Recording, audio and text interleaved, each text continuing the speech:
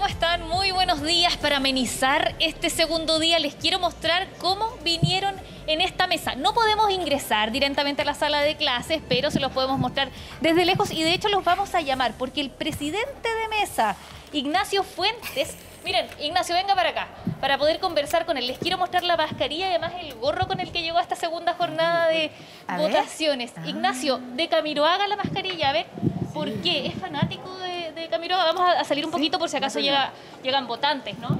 No, todos sabemos que Felipe es una inspiración para todos aquellos que vivimos con sus programas, eh, sabemos la importancia que tuvo para nuestras vidas y lo más probable es que si él estuviera con nosotros hoy en día nos llamaría a votar y que eso también es lo que queremos, por eso también venimos un poquito más llamativos para que eh, motivar hacia la gente. Nosotros estamos en la mesa 337 acá en el Alicante del Sol.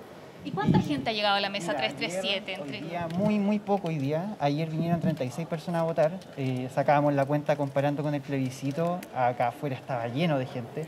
Y hoy día casi un pueblo fantasma. Estamos dando vueltas aquí los vocales de mesa. Entonces queremos que la gente venga, se motive y que venga con harto ánimo. Si quieren venir disfrazados, vengan. Si aquí la idea es que vengan con su carnet, vengan con su intención de voto y que podamos ¿cierto? vivir esta fiesta de la democracia. Mesa 337 del Alicante de Puente Alto. ¿Y por qué ese gorro? ¿Por el frío o también para, para motivar a los votantes? Sí, también por el frío. Mire que aquí también hace bastante frío, tenemos que tener las ventanas abiertas por temas obviamente de protocolo sanitario y también para motivar, o sea, queremos que, que sea entretenido, no que sea un, algo tan fome, sino que... ¿Por qué o sea, tienen que votar las personas? ¿Por, por qué es importante esta elección? Porque es nuestro deber, nuestro deber cívico. eh, es algo que nosotros tenemos que cumplir como ciudadanos sí o sí. No es algo para quedarnos en la casa. Si bien el voto es voluntario, eh, debemos hacerlo parte de nuestras vidas. Es algo que debería ser nuestra obligación. ¿Crees que es una de las elecciones más importantes que hemos tenido en la historia de Chile, sobre todo por la elección de los convencionales constituyentes? Totalmente, totalmente. Aquí eh, nosotros sabemos lo que implica tener una nueva constitución y es súper importante que sepamos escoger quiénes van a ser nuestros representantes en esta convención constituyente. Hoy vamos a llamar también, agradecemos a Ignacio Fuentes, el presidente de mesa, pero vamos a llamar a su compañero, que es el comisario, el encargado de ir a buscar las mesas, ¿cierto? Es Ignacio Berríos. Ignacio, ver, también con mucha voluntad y también con una mascarilla particular. A no me diga que es fanático de Marco Antonio Solís. A ver, Algo tengo el pelo largo. por algo tiene el pelo largo. ¿Se sabe alguna canción?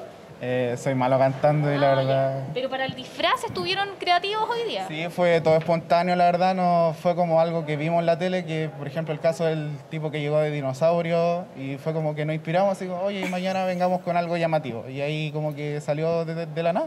¿Y el gorro es por el ¿Tienen un frío o por el disfraz? No, nada. Fue todo aquí en el momento, fue todo aquí durante las votaciones, en el rato que no venía gente, como que empezamos a conversar y encontramos unos temas en común y nos quedamos con los, los atuendos llamativos. Constanza Santa María pregunta desde el estudio de Televisión Nacional de Chile. ¿El gorro por qué es? ¿Por el Porque frío? una, porque tenía frío y era lo único llamativo que tenía en el momento, que fue lo primero que encontré. Ya, mucho frío han pasado entre ayer y hoy día. Ayer no hacía tanto frío, pero hoy en la mañana estuvo helado, ¿no? Sí, el- en las horas de la mañana estuvo más frío, por lo general en la tarde como que se arregla un poquito, a la hora del almuerzo ya como que está medio agradable, pero sí, igual hemos pasado frío. A ver, Ignacio, hay curiosidad con el gorro de Pikachu. ¿Es tuyo? ¿Es de un sobrino? ¿Es de un hijo? ¿O, o es tuyo particularmente? ¿Tú lo compraste para ti? Sí, es mío, tengo que sí, es mío. He ido a varios eventos con el gorro, por ejemplo, hace un par de años fui a FestiGame, que era una, como una convención de videojuegos y fui con el mismo gorro y lo tengo hace varios años también. Así que es mío, sí.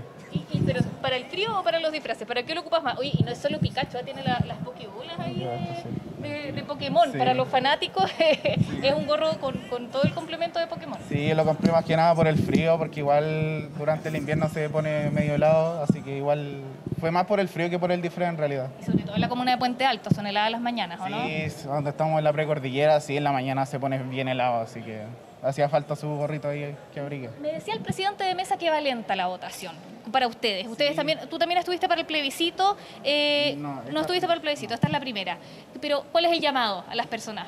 Que ojalá vinieran todos a votar porque si están las votaciones de constituyente, porque la gente lo quiso, ojalá la gente viniera más porque ellos quisieron, así que tendría sentido que cumplieran con el deber de votar por algo que pidieron. ¿Y en la mesa de ustedes quiénes han llegado votantes jóvenes, mayores? ¿Cómo es la mesa 337? Ha llegado de todo un poco, han llegado adultos mayores, jóvenes, gente que viene a votar por primera vez. De hecho, tuvimos un caso medio chistoso que vino a votar un vocal que no sabía que era vocal y se fue, pero se nos fue a avisarle, así que Eso. Ya. Ignacio Berríos, muchas gracias a ti, a la mesa 337, pero el Alicante de Puente Alto tiene más historias. Está, eh, está, te estaremos contándoles más adelante. Estamos de vuelta con ustedes. Ya, Oye, vamos a ir me ahora. pusieron hasta, hasta Marco Antonio No, no, Solís. Sí, eh, yo, yo- yo iba. lo estaba tratando de musicalizar, pero no sé si lo escuchaste allá.